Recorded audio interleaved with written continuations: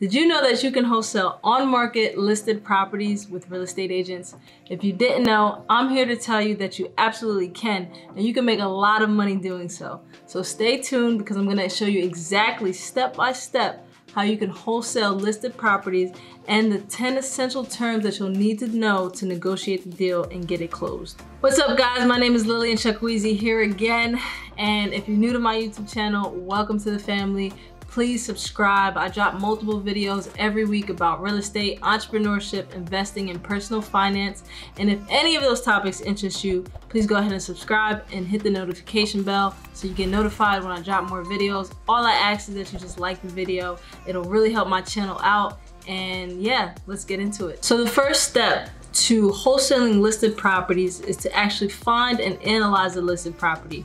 Now you can find these listed properties on a lot of different resources from Zillow to Redfin, um, pretty much anywhere if you don't have access to the MLS obviously. And then obviously you have to run comps and be able to determine if it's a good deal. Now, if you guys don't know the, the formula in order to find good deals or to be able to make offers, it's basically the ARV, which is the after repair cost, or the after repair value, times 0.7%, which is the nationwide average, um, minus repairs, minus your wholesale fee. That's how you come up with your offer. So I know you guys are probably wondering, well, why is it this 0.7%? Usually you find properties that are discounted by 30% um, to be able to wholesale to investors. And that 30% accounts for holding costs, closing costs, and your profit. Now, once you come up with a range of what you can possibly offer on the property, obviously you have to call that agent up um, and just be natural. Build rapport with them. Just, you know, talk about the property, talk about what's going on with the property, ask them about like what's going on, what information do they have. And um, what you can do from there is basically tell the agent that you want to make an offer, but that you're coming in unrepresented. Now, the best thing about coming in unrepresented is that you can basically incentivize them to work with you. Now, what you can do is basically tell them that, hey, I'm coming in un unrepresented, but I would love for you to represent me when I present my offer, and you get basically the other 3%, so you can get a total of 6% commission versus me coming in with my own separate buyer's agent. So obviously that incentivizes the agent to work with you, um, so they can possibly get that 6%. And then you guys are able to kind of put a deal together and they will vouch for you when putting in your offer because obviously there is more in it for them um, by working with you. And obviously, even if you come in unrepresented, if you're licensed, then you always have to disclose that you are licensed. So don't try to get around that. So obviously, once you look at a property online that is listed, you will get a good amount of information on the property. However, you still wanna ask the agent um, just ask them, what can you tell me about the property? Is it vacant? Is it occupied? Can you tell me the rent rate? Things of that nature so they can understand. So basically you get a little bit more of an understanding aside from the, the listing description um, because there are gonna be some nuances typically that they may or may not post, but they do have to disclose. So definitely ask that and try to get as much information as possible down to the condition, you know, HVAC, um, roof, everything like that. Try to get as much information out of the agent as possible. Now, after you get the information, you kind of get an understanding of the property. Um, it definitely helps because you had you already had a range when you came into off, making an offer on the property. Now that you've been listening and understanding the condition of it, you could kind of figure out where within that range that your offer may lie. Um, so at that point, then you can make an offer. But before you make an offer, if it's significantly lower than the listing price, you definitely want to consider basically being able to prepare them for a low offer. And one of the ways to prepare the agent for your low offer is to simply ask, what do you think it would cost for me to fix this home up? Let them answer. Once they answer, then you ask, if I make those repairs, what do you think it would resell for? Now, depending on their answers, obviously you'll have this in your head when you're going to make your offer.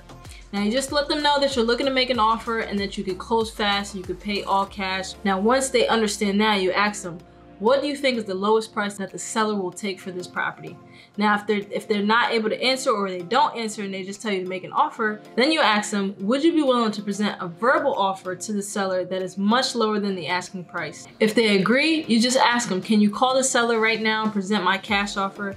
And if they are interested, then we can put it in writing because what you don't want to do is make the agent feel like they're going to be wasting their time. So you just want to give them the opportunity or the option to just say, hey, can you present my offer and you know, verbal offer. And then if it's if it if it's something that they're willing to consider, we can definitely put it in writing right away. But you don't want to make the agent feel as though that they have to put the offer in writing because um, then more times than not, if if it's not within a certain range that they think the sellers want to take, they're not even going to present it at all, especially with you asking for a written offer to the seller. Now, obviously, there's to be some objections when it comes to making low offers for agents um, for them to present to sellers. Um, and basically what you can just say is that I understand that it's that you may think it's a low offer, but I really believe that the seller deserves to know what an investor would pay for their house for cash. Because I know if I was selling a house, I would definitely want to know what people would pay for cash and what the retail market would pay for my house. So I do think agents should present offers, cash offers from investors, even if it seems low, because there's a lot of times where there are low offers given until, and then months later, months later, um, people accept those offers because they're not getting the number that they thought that they would be able to sell the house for. And at the end of the day, the market or the people, the consumers are the ones who determine what they're willing to pay for a house not what the seller thinks and not what the agent thinks. It all comes down to the consumer and the demand for that type of house. And worst come to worst, if an agent still doesn't want to present your verbal offer, you can take a shot in the dark and ask them if you can personally present your cash offer to the seller and just include them on the back end if it goes through. So if all goes well and the seller accepts your offer that the agent submitted on your behalf, the next thing you have to do is present the exact terms that you need in order to close out the property. There's 10 essential things that you need to know in order to present with your offer when dealing with real estate agents and listed property. So the first thing you're gonna have to do to include on the real estate agent contract is the um, name, which is your name or your entity's name and or assigns. So when I do contracts with agents, I will put Lillian Chukwueze and or assigns because a lot of real estate traditional contracts do not um, allow for assignments. So in order to make the contract assignable, you have to put and or assigns in that name the space for the name to make sure the contract can be assigned. And if the agent gives you pushback about that, then they probably don't want to work with you because they will assume that you're wholesaling it to somebody else. When in reality, what you can say is that, hey, I'm putting and or signs because I don't know which entity I'm going to actually close in. I might close in a different entity just for tax purposes. And if they still give you some pushback, then you probably just don't want to work with the agent period because they probably have some type of animosity towards wholesalers for whatever reason. But that's one of the great things about me because I'm coming from the wholesaling world and I'm now an agent and I would love to work with both. And I really want to bridge that gap between the two because I really understand how each person, the wholesaler and the real estate agent can work together to get more deals closed out. And at the end of the day, all it comes down to is getting the, these deals closed out and helping sellers move on from one property and be done. So I think if you keep the main interest of the seller at hand, which is getting these properties sold, then I think both parties can come together and work together to create harmony and, and, and, create more value in the marketplace. Okay, so after you put your name and or signs on the contract, the next thing you have to obviously have to put is price and whatever the price that you guys agree on. Um, and you have to make sure in terms of funding, you make sure that it's cash or hard money. Um, after that, you have to provide proof of funds typically. Um, and I think the best way for me that I've been using to get the proof of funds letter is from the company. Um, this website is called besttransactionalfunding.com. I have no affiliation with them, um, but you're basically able to go on this website and put in the information for the property and your information and they'll basically automatically send you a proof of funds letter instantly, which is really, really convenient when you're trying to make really fast offers. The next thing you have to include on the contract is the fact that you are buying it as is, so the seller knows that they don't have to worry about fixing up anything that comes with the property. It is all reliant on you and or the buyer. The next thing you have to put on the contract is your inspection contingency. Now this isn't a typical inspection with um, a traditional inspector. This is basically just gonna be an inspection for you and your buyers and or contractors to come by and view the property and get an estimate on the repairs and what the cost and value would have to be of the property. If you're specifically just wholesaling it, this contingency period will specifically be for your buyers to come through and figure out what offer that they can give you on the property. And for the inspection period, make sure you get at least 10 days 14 days if you can, especially with COVID, try to get more. But that period is very, very important to the process because if you don't have that inspection contingency period, then you will not be able to get out of the contract if it's not a deal for you or your buyers. So make sure you have that 10 to 14 day inspection period so you can go in there, check it out, and have your people come by and make sure that it's a deal. The next thing you have to include on the contract is earnest money deposit. Now, typically with wholesale deals, we haven't put down any more than $100. We typically put down $10 on our earnest money deposit, off-market properties, I should say. Um, but if you're doing on-market properties, you're gonna need to at least put down an earnest money deposit of $500 to $1,000 in order for the real estate agent and the seller to take you serious. It's a little bit of a different game, a little bit more money, but nonetheless, as long as it's a good deal, you will not have to worry about losing that. Now, the next thing you wanna put on the contract is the closing date. And one thing that I really suggest is that you guys make it 30 days from the accepted offer. Now there's a time period in between when you're giving offers and when the seller actually accepts it and days may go by um, and you're essentially losing days. Typically we sell wholesale properties within 30 days, people know that. Um, but you wanna make it so it's 30 days from the moment that they accept the offer. And the next thing you have to include in your terms is the access to the property. So you wanna make sure the seller is able to give you unrestricted access. So one of the things you wanna include is that the seller is to give buyer unrestricted access to the property so you don't ever have to worry about getting the keys from the seller in order to go in there when you have contractors or your buyers come by.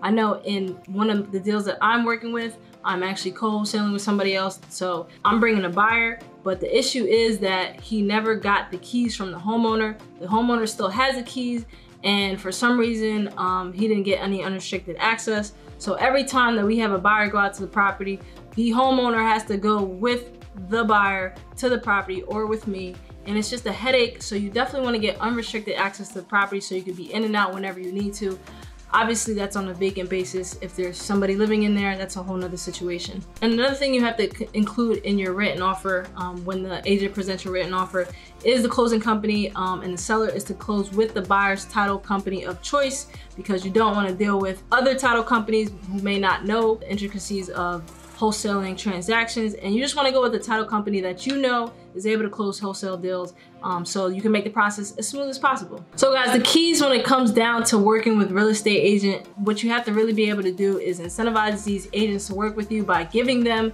the other half of the commission um, and also referring them deals as well. Now, um, you know, there's deals that you're gonna come across that don't fit the wholesale bucket and you're able to refer that to agents who are able to just list it if that's what the seller is looking for. There's a lot of leads that you come across that are sellers are looking for retail offers and agents are really able to help them do that. So another way to work with real estate is the fact that they can bring you pocket listings. And pocket listings are basically off-market properties that they have not listed. Now you can ask them if they can bring you these deals before they hit the MLS and you can basically get these sellers cashed out quickly and uh, just give the agent a referral fee for that because they are referring you to that homeowner. Um, another way is that they could bring you cash buyers. Um, and I learned this from uh, the strategy called uh, triple dip from Jerry Norton. So basically it's referred to as the triple dip because you're contracting the property with the agent and you're giving them the other 3%, so 6% commissions. And you're also having them sell that same property to their buyers. So you're having them do those three major things that will help get the property sold immediately. Now, another way to work with real estate agents is to basically call other agents who have represented sellers who have recently flipped properties. So if you're looking on the market, you're looking on Zillow, you see these recently flipped properties, you can contact these agents to get in contact with them and say, hey, you know, I have some distressed properties. I see your buyer or your seller um, recently sold this property and it was a great flip. Would he or she be interested in this same property in the same area um, with similar numbers?